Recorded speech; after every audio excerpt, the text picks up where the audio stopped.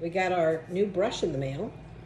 It's a beautiful baby blue, and it has a nice thumb depression for release of the hair.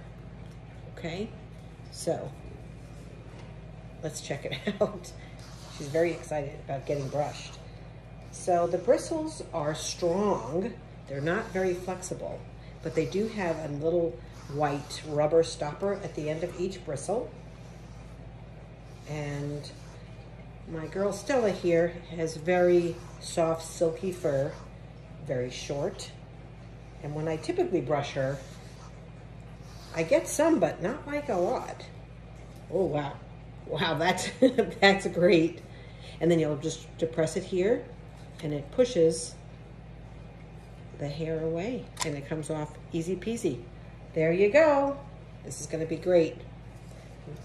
This is gonna be great. And kind of leaves the hair a little silky smooth uh, after it's brushed. And she likes it. So like I said, the bristles are strong.